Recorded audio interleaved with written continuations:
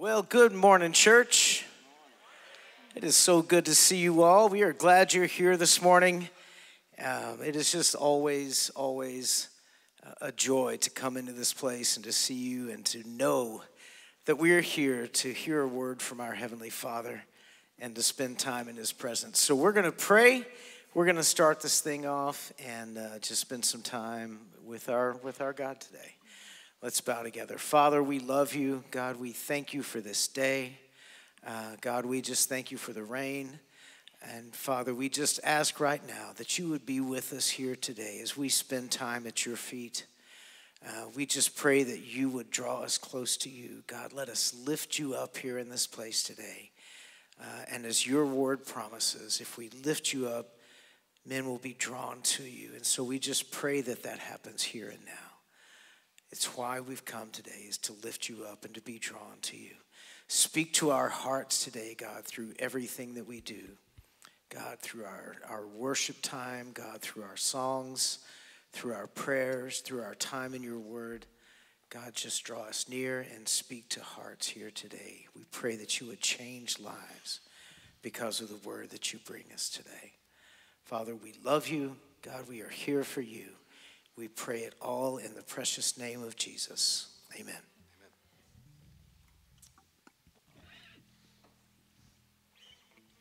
Well, let's lift up our voices together. We're going to spend some time just coming to the feet of the cross and praising our God.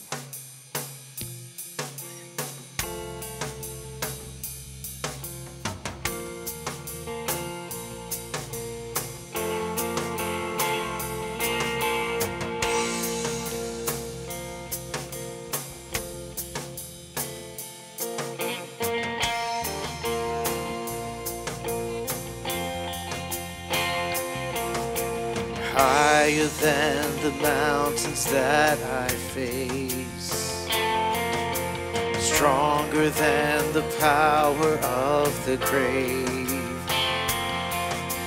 constant in the trial and the change. This one thing remains. Your love never fails, it never gives up it never runs out on me. Your love never fails, it never gives up, it never runs out on me. Your love never fails, it never gives up, it never runs out on me. Your love. And on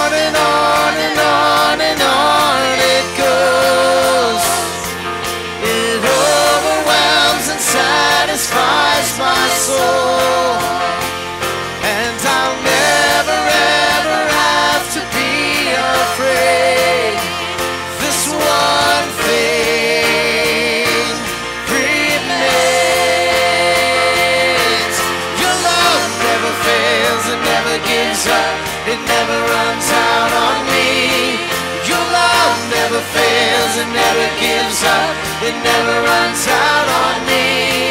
Your love never fails, it never gives up, it never runs out on me. Your love.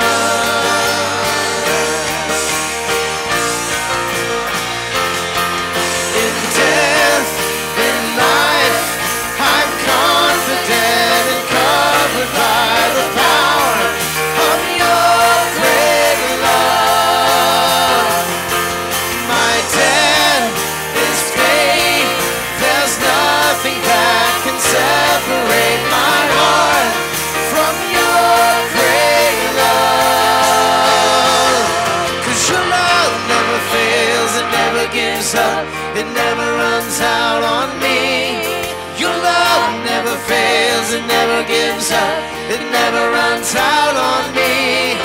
Your love never fails, it never gives up, it never runs out on me.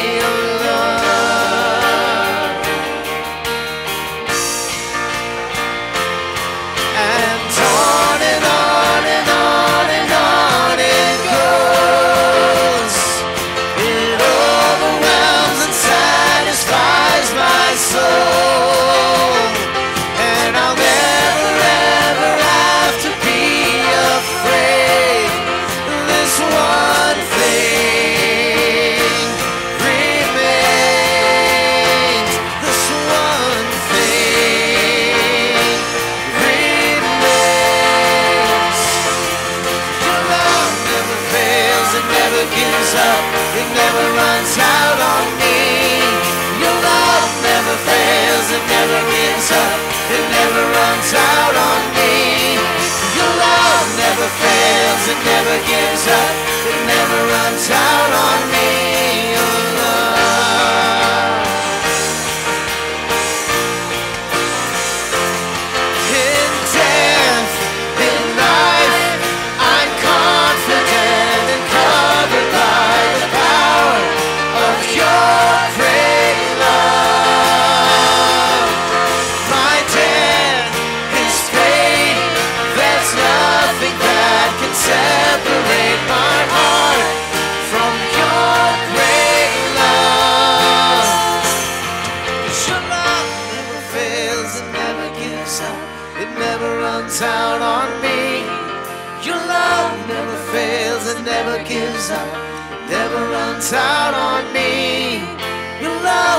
never fails, it never gives up, it never runs out on me.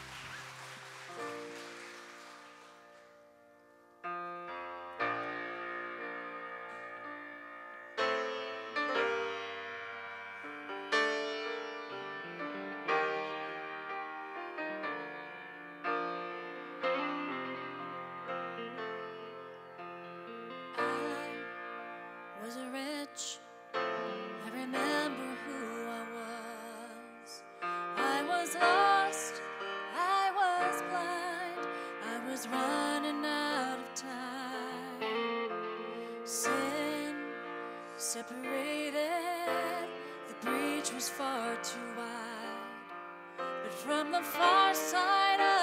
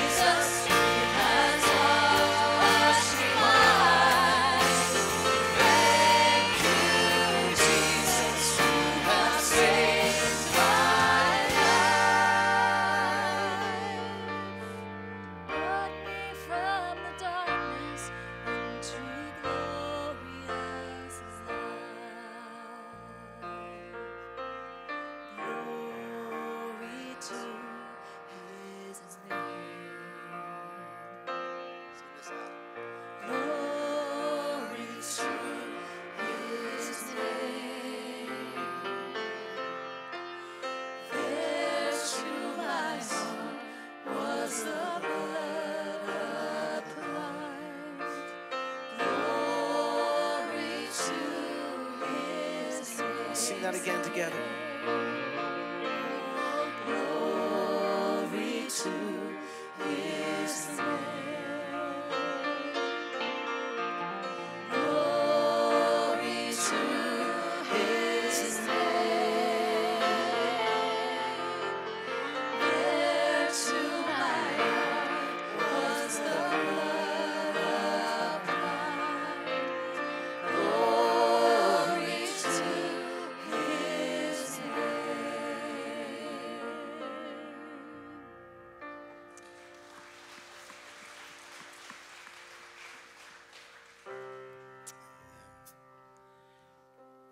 Continues bringing glory to his name. Worshiping the God who is here and now in this room today with us, and who is the same God that was with Moses, the same God that was with Abraham, the same God that was with Adam, the same God that was with David, the same God that was with all of Jesus' disciples and apostles. That same God is here in this place today. We are here to celebrate Him and His presence in our lives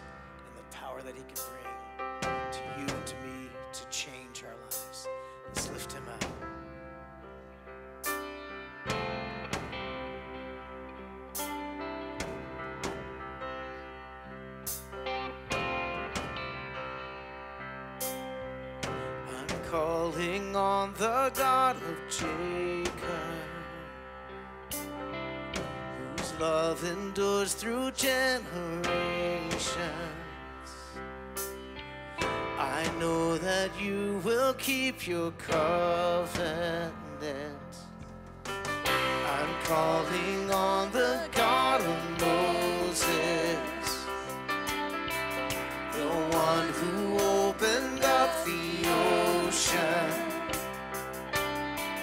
I need you now to do the same thing for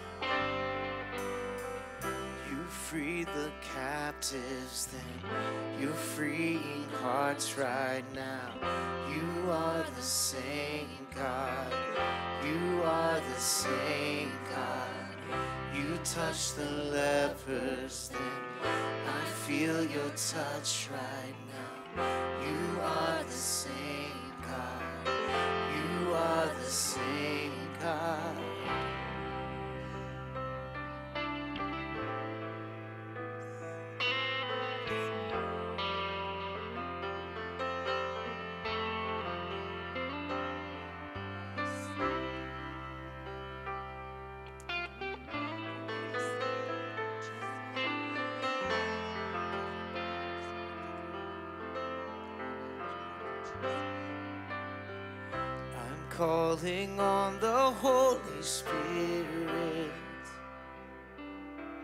Almighty river, come and fill me again. Come and fill me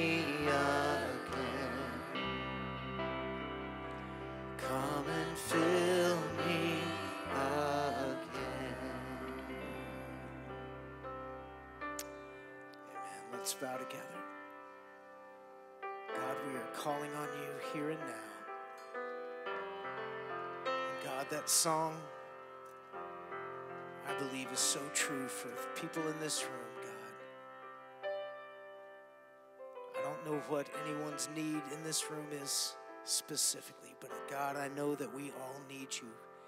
And we all need you to do a work in our life. And we need you here and we need you now.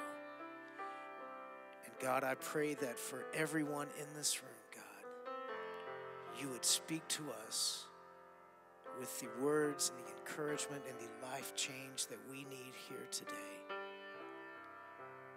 God, we are here for you. We love you. We just give ourselves to you and ask you to do a work in our lives. And we pray it in the name of Jesus.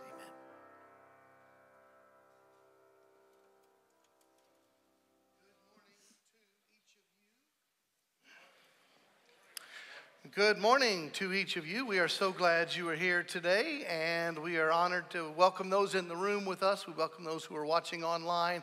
It's our privilege to worship together. We know we have guests with us each time we gather, and so we would love to get to know you personally. If you are our guest, and you are watching online, you'll see a QR code. If you're sitting in one of these chairs, you'll look in the chair in front of you. You will see a QR code. You can click on that, and it will take you to a place where you can give us just a bit of your information so we can welcome you and say hello. If you have a worship guide here in the room and you'd like to write it on this tear off slip, you can do the same thing. A bit of your information, drop it in one of the offering boxes in this room or in the hallways so we can say hello to you and tell you a little bit more about our church. We would love to do that. Also, the tear off slip allows us to pray with you. If you would like to write something on this prayer slip, you can use the email address prayer at firstmelissa.com or at the very end of our worship service, we will have members of our prayer team right here at the stage, and they would love to pray with you personally. Inside the worship guide, you will see a whole bunch of things going on in our ministries. It is getting to the time of year, it'll be Thanksgiving, it'll be Hanukkah, it'll be Christmas, all kinds of things we'll be talking about as we go forward. You can start to place some things on your calendar. And as we look ahead to this week, we will gather on Tuesday evening at 7 p.m. right here in this room. We have a great new study.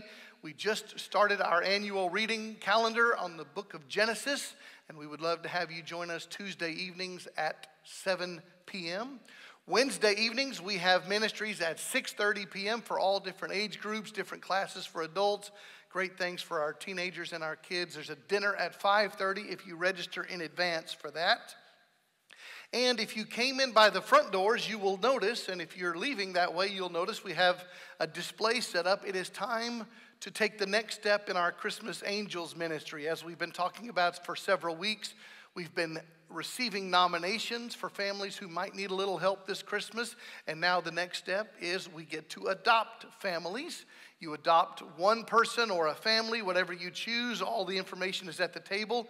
You might also choose to fill a grocery box, and the box is there with the shopping list inside, so you can choose to adopt a family, fill a grocery box, do one or the other, both, whatever you choose. But the table is set up in the foyer, and they'll help you get all the information you need. So thank you for helping us bless our neighbors during this Christmas season. We have a lot more ministries going on. Hope you'll pay attention to our mobile app and our worship guide. But everything we do here, we do together as the body of believers. We sing and we study and we pray and we volunteer and we give as fellow followers of Jesus. We give of our tithes and offerings. I mentioned the offering boxes in this room and in the hallways. Some prefer to give by cash or check. If you prefer that, those are what the boxes are for. Many choose to give electronically. It's very simple firstmelissa.com slash give, whatever method you choose. Thank you giving to ministry, joining with us as we all do our part together to tell the story of Jesus. And this morning we're going to continue a conversation we began last Sunday titled In God We Trust. We're talking about what our nation is talking about. We have an election coming up on Tuesday of this week. Our nation is going to choose the next leader for our country. No matter who is elected in the White House, in the Senate, in the Congress, as judges, no matter who's elected, please understand that our trust is not in a person who's elected to office. In God we trust.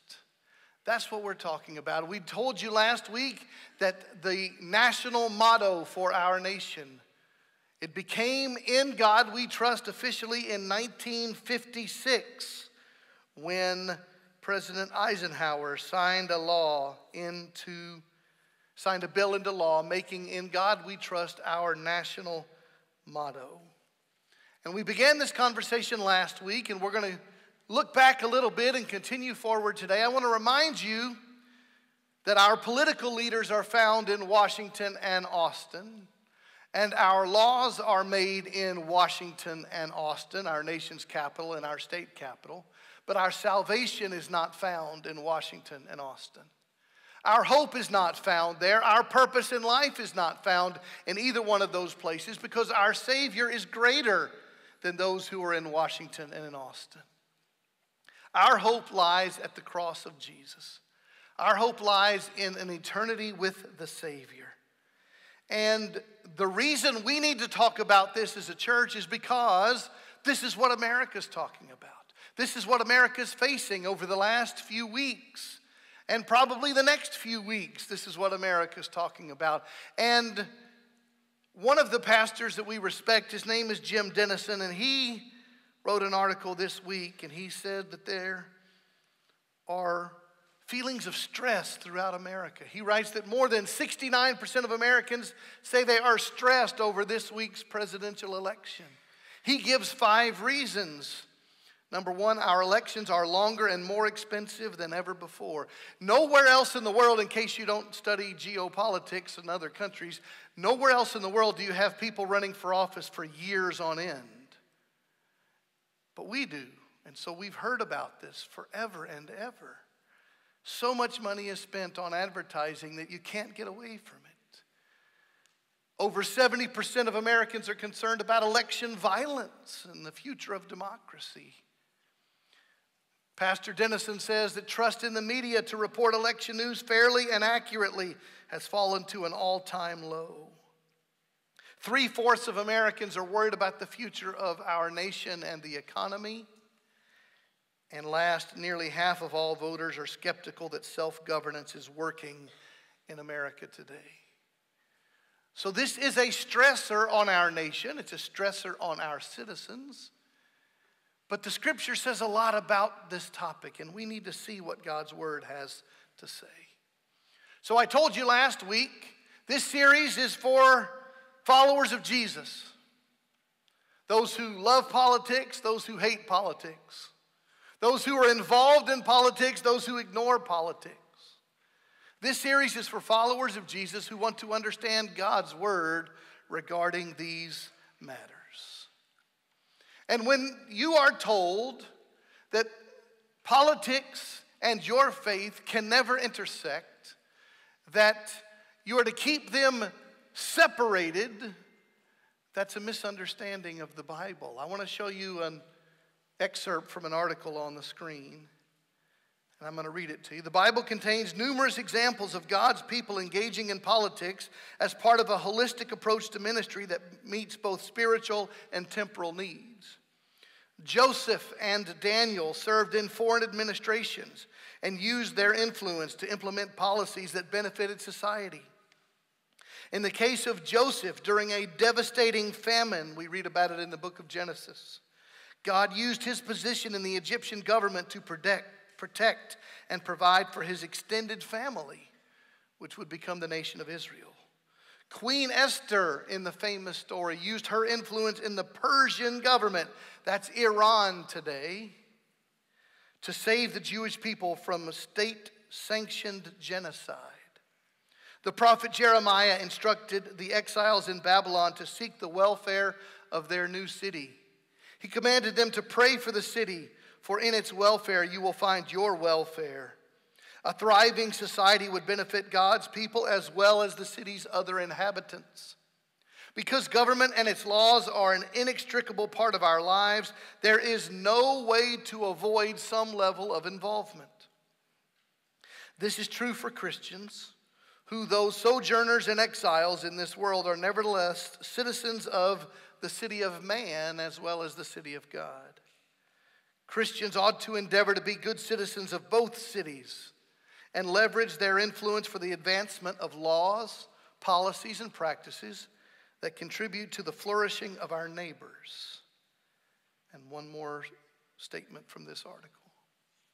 Because power resides with the people in our republic, when Christians vote, they are delegating their ruling authority to others. By voting, Christians are entrusting their sword bearing responsibility to officials who will govern on their behalf. Voting is a matter of stewardship. Failure to vote is a failure to exercise God given authority. Given the United States' far reaching influence in the world, how can American Christians love the people of the nations well without having a vested interest in how our government approaches the issues of religious liberty and human rights worldwide?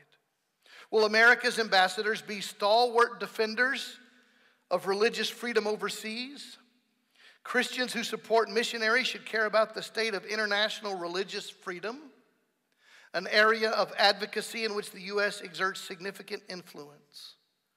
Will abortion, under the euphemism of family planning, be funded overseas by American taxpayers? Or will U.S. foreign policy value the life of the unborn? Again, American believers, by exercising their right to vote, have a direct say in these matters. Compelled by love for our neighbors and a desire to steward our God given responsibilities, we must, as Christians, engage in the political process. But we must engage biblically. This requires that we be prepared to grapple with the moral issues of our day, the reality of our two party system, and follow our Christian convictions to their logical end by voting for candidates and parties that support clear biblical values. This article reminds us that we can't avoid this topic as much as we would want to. Our nation needs believers to make their biblical voice heard. Other nations need believers in America to make their biblical voices heard. So, we're going to talk about a lot of things today, but remember what I asked you last week what do we do first? The book of 1 Timothy, chapter 2. First of all, then, I urge that entreaties and prayers, petitions, and thanksgivings be made on behalf of all men, for kings and all who are in authority, so that we may lead a tranquil and quiet life in all godliness and dignity. As we told you last week, if we are praying for our leaders, we won't have the time or the desire to adore them or hate them or ridicule them or ignore them because we're focused on praying for them. So before we go any further, I want us to pray for our leaders and our nation right now. Please bow. God, we again lift up all those who are in office, all those who are running for office, the one who will be the next president, the one who will be in the Senate and the Congress, state legislature, local leaders. God, I pray that they will be called to a true walk with Jesus. They will be called to stand courageously and boldly for biblical truth, compassion, concern for those who are hurting, honesty, and everything that comes from your word. Father, we pray for our nation that not just we in this church or we who profess faith in Jesus would understand that leaders are fallible and sinful, and there's only one king, and his name is Jesus. And we pray this prayer in his name. Amen. I'm going to ask us to keep in mind Philippians chapter 3. For our citizenship is in heaven, from which also we eagerly wait for a Savior, the Lord Jesus Christ, who will transform the body of our humble state into conformity with the body of His glory by the exertion of the power that He has even to subject all things to Himself. Many are citizens of America in this room. Some are not, some are, most are. But if you're a follower of Jesus, no matter your nationality, your ultimate citizenship is in heaven. That's why in Colossians 1 we read, He rescued us from the domain of darkness and transferred us to the kingdom of His beloved Son, in whom we have redemption, the forgiveness of sins. See, our citizenship is in heaven, and our King is named Jesus. No matter what political party you belong to, no matter what nationality you are, if you have received the gift of salvation, your citizenship is in heaven and your king is named Jesus. With that background, we still have an election and we still have a nation in turmoil. And so we have these persistent questions. For followers of Jesus, whose ultimate citizenship is in heaven, what is the biblical mandate regarding human government? What did God say about human government? Because please understand, it was His creation, He designed it. And what does God, through His Word, instruct us regarding earthly leaders? We're going to look at several passages today. First, from the book of Romans. If you'll find your way, please, to the middle of your New Testament, that second part of your Bible. We're going to look at some verses from Romans chapter 12 and chapter 13, and then we'll look at a few other passages as we go forward. We're going to start in Romans 12, verse 1, which is not going to sound like a political verse because it's not. Romans 12, verse 1, the Apostle Paul writes to believers in a city that had ungodly leaders, the city of Rome. And he said, I urge you, brothers, by the mercies of God, to present your bodies a living and holy sacrifice. The Apostle Paul is a Jew. He's writing to fellow Jews who all would understand the sacrificial system. There's no temple in Jerusalem today, so there's no Jewish sacrificial system in the temple. There's no temple. But there was in the days of Jesus, there was in the days of Paul, and for centuries before that. And they would have understood what a sacrifice is. You bring your very best to the Lord and you lay it at the altar. And sometimes that was money, sometimes it was grain, sometimes it was an animal. The animal that would have been slaughtered for this purpose. Paul says he's encouraging his brothers, his Christian fellow believers, to present your bodies, our bodies, a living and holy sacrifice, acceptable to God, which is your spiritual service of worship. Before we talk about anything else, Paul says, You give yourself to God. Before you pray for a leader, before you talk about government policy, give yourself to God a living and holy sacrifice. And then he says, Do not be conformed to this world, but be transformed by the renewing of your mind, so that you may prove what the will of God is, that which is good and acceptable and perfect. We mentioned earlier that America's political system is different than everywhere else in the world, where people run for president for years. And campaign commercials are out there for years. You're inundated by mail, by social media, by television commercials and it all soaks into our mind. And the Apostle Paul says, Do not be conformed to this world. All of that mess is not what should be guiding my mind, but my mind should be transformed. How is my mind renewed? It's by putting in the things of God, not the things of the world. The input is different so that I might prove what the will of God is, that which is good and acceptable and perfect. And then in chapter 12, the Apostle Paul talks about spiritual gifts, how that we all have gifts from the Lord as followers of Jesus that are used for his glory. And then we'll read in verse 9 let love be without hypocrisy. Now, since we're talking about politics, we, as followers of Jesus, need to stand up for truth. We need to call what is right, right, and we need to call what is wrong, wrong, no matter what political party is involved. Right is right, wrong is wrong, holy is holy, evil is evil. Doesn't matter what political party it is. If we call one group evil and one group good when they're both evil, you know what that is? That's hypocrisy. We need to say what is biblically true and righteous and what is not. Let love be without hypocrisy. Abhor what is evil. Cling to what is good. Be devoted to one another in brotherly love. Give preference to one another in honor, not lagging behind in diligence, fervent in spirit, serving the Lord, rejoicing in hope, persevering in tribulation, devoted to prayer contributing to the needs of the saints, practicing hospitality. All of these things are what we do during an election season if we're following Jesus. But you know what? These are the things we do when it's not election season if we're following Jesus. And devoted to prayer.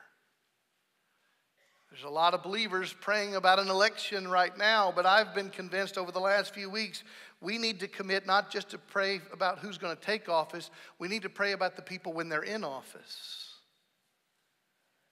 That they would seek the Savior. It continues in 12 14. Bless those who persecute you, bless and do not curse.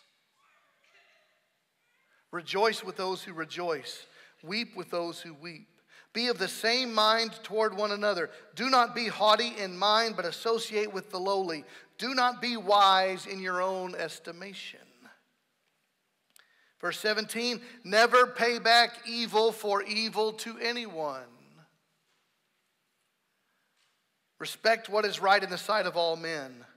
If possible, so far as it depends on you, be at peace with all men. Never take your own revenge, beloved, but leave room for the wrath of God. For it is written, Vengeance is mine, I will repay, says the Lord, in Deuteronomy 32. But if your enemy is hungry, feed him. And if he is thirsty, give him a drink. For in so doing, you will heap burning coals on his head. Do not be overcome by evil, but overcome evil with good when we talk about elections, we talk about politics, one thing that people say all the time is it's a dirty game. And it is. But we don't have to live that way. We don't have to talk that way. We can choose to overcome evil with good. And that leads us to Romans 13. The Apostle Paul says every person is to be in subjection to the governing authorities, to the higher authorities. For there is no authority except from God, and those which exist are established by God. People are in positions of leadership at every level of government, from the mayor of a city to the president of the United States, only because God allowed it to happen. Nobody in this room knows who's going to win the election on Tuesday. Nobody does. But the all knowing God of the universe is fully aware of who's going to win the election on Tuesday. And people are only in positions of power, says the book of Romans, because God allowed it. There's no authority except from God, and those which exist are established by God. Therefore, whoever resists authority has opposed the ordinance of God, and they who have opposed will receive condemnation upon themselves. We have the biblical mandate to respect those in political leadership, to subject ourselves to authorities. Now, I know that's going to lead to a lot of questions, and I'm going to try to answer them in a moment. But this is not an optional statement given in the scriptures. Every person is to be in subjection to the governing authorities. Well, who is the ultimate authority in America? I have another quote for you. In the United States, the ultimate authority for government is vested in the citizens according to the U.S. Constitution. That means God has appointed us as citizens to exercise authority properly as service to Him and to others. That would mean that our job as citizens is to play our proper role in upholding a standard of loving our neighbors as ourselves and insisting on a government that reflects biblical values for government. God's direction for maximum human flourishing is in creating a self governing society. The pillars of self governance are rule of law, consent of the governed, and private those are biblical principles. The next verse in Romans 13, verse 3 says, Rulers are not a cause of fear for good behavior, but for evil. Do you want to have no fear of authority? Do what is good, and you will have praise from the same. For it, governmental leaders, governmental authority, it is a minister of God to you for good. But if you do what is evil, be afraid. For it, government, leaders, government, it does not bear the sword, the ability to punish for nothing. For it is a minister of God, an avenger who brings wrath or punishment on the one who practices evil. So every one of us benefits from a government that protects those who do right and punishes those who do wrong. Every citizen benefits when government works that way. And then you ask, but what if the governmental leaders are evil? And look at William Newell's quote Your Savior suffered under Pontius Pilate, one of the worst Roman governors Judea ever had, and Paul under Nero, the worst Roman emperor. And neither our Lord nor his apostle denied or reviled the authority. See, you might dislike our leaders today, but we're not the first generation who's disliked their leaders. We're not the first generation of followers of Jesus who had leaders who did ungodly things. Yet the Apostle Paul, who's writing this, lived under a terribly evil Roman emperor. And Jesus, the Messiah, lived under Pontius Pilate, who was egotistical and power hungry and lived an unrighteous or an immoral life. So the Bible is written by people who've lived what they're talking about. Verse 5 of Romans 13, therefore it is necessary to be in subjection, not only because of wrath, but also for conscience sake. See, you don't do this just to stay out of punishment, you do it because it's the right thing to do. For because of this, you also pay taxes, for rulers are servants of God, devoting themselves to this very thing. Render to all what is due them tax to whom tax is due, custom to whom custom. This is like a toll or a tariff in our modern vocabulary. Fear or reverence to whom fear, honor to whom honor. Modern people today complaining about high taxes. It's not a new problem. It's thousands of years old. Do what is right because it's the right thing to do, he says. Another quote Paul's idea is that Christians should be the best citizens of all. Even though they are loyal to God before they are loyal to the state, Christians are good citizens because they are honest, give no trouble to the state, pay their taxes, and most importantly, pray for the state and the rulers. Paul says in verse 8, Owe nothing to anyone except to love one another. For he who loved his neighbor has fulfilled the law. For this, you shall not commit adultery, you shall not murder, you shall not steal, you shall not covet. Remember the parts of the Ten Commandments? He said, if there's any other commandment, is summed up in this saying, you shall love your neighbor as yourself. Love does no wrong to a neighbor, therefore, love is the fulfillment of the law. Verse 11, do this, knowing the time that it is already the hour for you to awaken from sleep, for now salvation is nearer to us than when we believed. Paul wrote this letter almost 2,000 years ago. And he says, every day we get closer to the return of the Savior. And it's a fact, right? I mean, tomorrow is closer than today, but we're 2,000 years later than he was. Salvation is nearer to us than the day when we believed. The night is almost gone, the day is near. Therefore, let us lay aside the deeds of darkness and put on the armor of light. Let us behave properly as in the day, not in carousing and drunkenness, not in sexual promiscuity and sensuality, not in strife and jealousy, but put on the Lord Jesus Christ and make no provision for the flesh in regard to its lusts. Remember what we read earlier let love be without hypocrisy. I, as a follower of Jesus, cannot complain about immoral politicians if I lead an immoral life.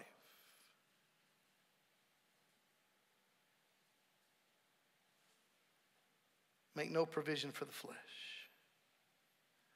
This is what Paul wrote in Romans 13. Now, if you have your scriptures, we're going to go a little further back in the New Testament to the book of Titus for a couple of verses because he writes the very similar thing. Titus chapter 3.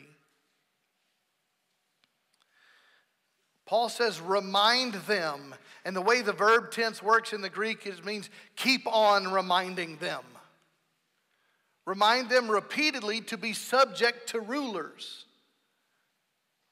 to authorities, to be obedient, to be ready for every good deed. This means to do good stuff, not just wait around and hope the bad stuff stops. It's to be active, not passive to be subject to rulers, to authorities, to be obedient, to be ready for every good deed, to malign no one.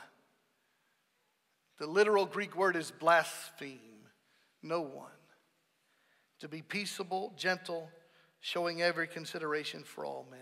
So, this is a different letter written by the Apostle Paul at different times, different circumstances, but his principle is the same. Be subject to those who are in authority. Be peaceable, gentle, showing every consideration for all men. But when we keep reading, subject yourselves to the authorities on earth, we still have this nagging set of questions. What if the government decrees are unbiblical? What if human government does not espouse God's values? And this is a legitimate set of questions. And believers have been asking this for thousands of years. Believers today are asking this question. But we need to be careful when we ask this question because we tend to over apply these questions. The tax rate should be this or that. Zoning should be this or that. Those are hard to defend biblically.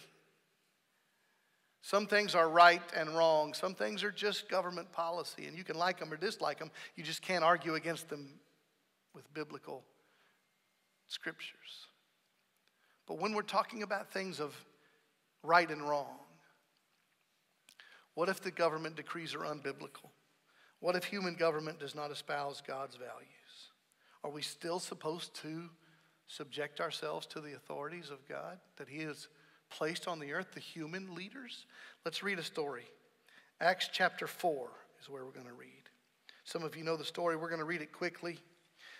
Two of Jesus' apostles, after he has been resurrected, after he ascends to heaven, he's no longer on the earth. Two of his apostles are named Peter and John, two of his very closest friends. The book of Acts, chapter 4, says they, Peter and John, were speaking to the people The priests and the captain of the temple guard and the Sadducees came up to them, being greatly disturbed because they were teaching the people and proclaiming in Jesus the resurrection from the dead. And they laid hands on them. That means they arrested them, put them in jail until the next day, for it was already evening. But many of those who had heard the message believed. And the number of men came to be about 5,000. 5,000 men came to faith in Jesus because of the witnessing, the preaching of Peter and John. Well, the authorities didn't like it and threw them in jail. On the next day, their rulers and elders and scribes were gathered together in Jerusalem, and Annas the high priest was there, and Caiaphas and John and Alexander, those were leaders in the priestly class, and all of them were of high priestly descent. When they had placed them in the center, like in the place of, of uh, judgment or accusation, they began to inquire, By what power or in what name have you done this? Then Peter, filled with the Holy Spirit, said to them, Rulers and elders of the people, if we are on trial today for a benefit done to a sick man, as to how this man has been made well, see, we're reading Acts 4, that happened back in Acts 3, a man was healed. Let it be known to all of you and to all the people of Israel that by the name of Jesus Christ the Nazarene, whom you crucified, whom God raised from the dead, by this name this man stands here before you in good health. He Yeshua, Jesus, is the stone which was rejected by you, the builders, but which became the chief cornerstone. It's a messianic prophecy from Psalm 118. And then Peter says, There is salvation in no one else, for there is no other name under heaven that has been given among men by which we must be saved. And if you've been around the church for a while, you've heard Acts 4:12 mentioned often, and it's very true. There's no other name under heaven by which we find salvation. I just think you might not remember that is a political story in which that verse is written. It's government leaders telling followers of Jesus what to do and what not to do. Keep going, verse 13. Now they, the government officials, observed the confidence of Peter and John and understood that they were uneducated and untrained men. They were amazed and began to recognize them as having been with Jesus. Here should be our prayer in the middle of a political season that anybody who's watching us will not recognize who we vote for or what party we belong to or what stance we take on an issue, but that they will recognize that we've been with Jesus. May that be our identifier. They recognized him as having been with Jesus, and seeing the man who had been healed standing with them, they had nothing to say in reply. But when they had ordered them to leave the council, they began to confer with one another, saying, What shall we do with these men? For the fact that a noteworthy miracle has taken place through them is apparent to all who live in Jerusalem. We cannot deny it, but so that it will not spread any further among the people, let us warn them to speak no longer to any man in this name. Remember the original question? What if the biblical, uh, what if the governmental mandates we receive are unbiblical? What was the governmental mandate these guys just received? Don't ever talk about Jesus again. Verse 18 And when the government officials had summoned Peter and John, they commanded them not to speak or teach at all in the name of Jesus. But Peter and John answered and said, Whether it is right in the sight of God, to give heed to you rather than to God, you be the judge. For we cannot stop speaking about what we have seen and heard. Let me just translate that for you. You, governmental leader, just gave me a law, and I follow all the laws, but I'm not following that one. Because my God told me to share my story of salvation with others, and you can't tell me the opposite. So, are there occasions when the subject yourself to governing authorities doesn't apply? Yes. When it's absolutely biblically clear that, that government says A and God says B. But again, most situations are not so clear. That's why prayer is so integral to this whole process. They said, we cannot stop speaking about what we have seen and heard. So it says, when they threatened them, the government leaders threatened Peter and John further. They let them go, finding no basis on which to punish them, on account of the people, because they were all glorifying God for what had happened. For the man the one who was healed, was more than 40 years old on whom this miracle of healing had been performed. When they had been released, they went to their own companions and reported all that the chief priests and the elders had said to them. And when they heard this, they lifted up their voices to God with one accord and said, O Lord, it is you who made the heavens and the earth and the sea and all that is in them, who by the Holy Spirit through the mouth of our father David, your servant, said, Why did the Gentiles rage and the people devise futile things? The kings of the earth took their stand and the rulers were gathered together against the Lord and against his Christ. Finish it. For truly in this city they were gathered together against your holy servant Jesus, whom you anointed, both Herod and Pontius Pilate. Who are those? Governmental leaders. Along with the Gentiles and the peoples of Israel to do whatever your hand and your purpose predestined to occur. And now, Lord, take note of their threats and grant that your bondservants may speak your word with all confidence while you extend your hand to heal. And signs and wonders take place through the name of your holy servant Jesus. And when they had prayed, the place where they had all gathered together was shaken, and they were all filled with the Holy Spirit and began to speak the word of God with boldness. There will be times when the government says to do something and the Bible says to do the opposite, and we will have to decide what we will do. And what will we do? we will say that we only have one king and his name is Jesus. And let me tell you how you can meet him too.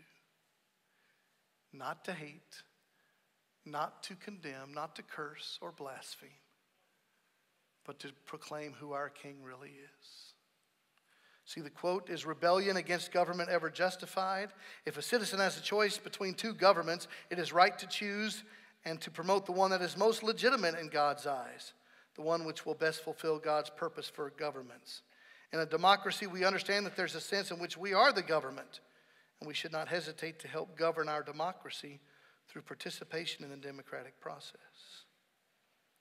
And the last thing I need to show you is one more passage where the same thought is given. It's in 1 Peter chapter 2, different author, toward the very back of your New Testament. This same guy, Peter, years later, the guy who was thrown in jail, we just read, for speaking about Jesus as Messiah. What did he write? 1 Peter 2:13. Submit yourself for the Lord's sake to every human institution, whether to a king as the one in authority or to governors as sent by him for the punishment of evildoers and the praise of those who do right. You would think that Peter would be the anarchist and he's not. He's the one saying, Submit yourselves to the authorities, for such is the will of God, that by doing right you may silence the ignorance of foolish men. Act as free men, and do not use your freedom as a covering for evil, but use it as bondslaves of God. And look at the last verse, 17. Honor all people, love the brotherhood, fear God, honor the king. So if you needed the four point summary of Christian citizenship, you just got it. Respect everyone, love the brotherhood of believers, fear God, worship, be in awe of God, and honor the king, honor the leaders. We don't worship the leaders, we respect them, but we worship the king whose name is Jesus.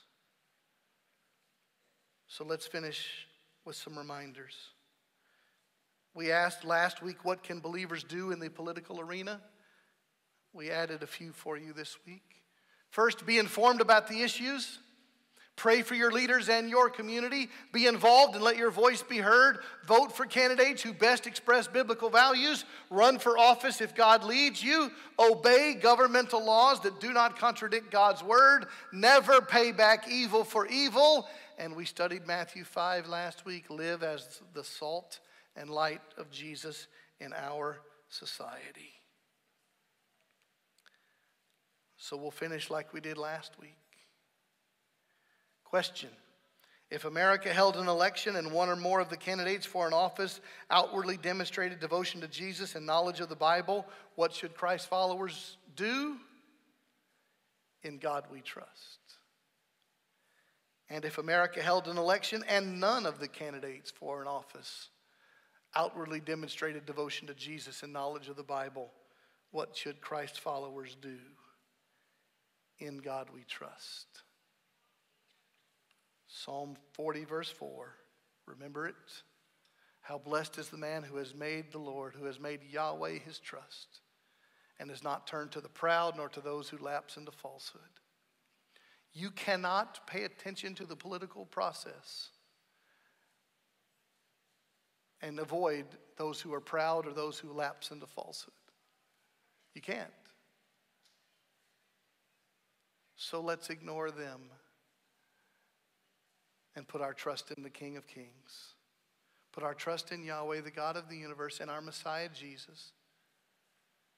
Pray for leaders, vote for leaders that best represent biblical values. Subject yourselves to governing authorities. But in God we trust. Would you bow with me? Let's pray. Some of our prayer team, they're going to come to the front. They'll pray with you here if you'd like. Our God, we give our nation to you. We entrust our nation to you that you will raise up leaders. And God, we pray for leaders who are honest and courageous, who express biblical values. But God, our allegiance is not to them, our allegiance is to only the King of all kings. So, Father, may we never repay evil for evil. May we have love without hypocrisy. And may we continue to speak the name of the Savior so the world will recognize us as having been with Jesus. And we pray this prayer in His name. Amen. Blessings to you. Thanks for coming today.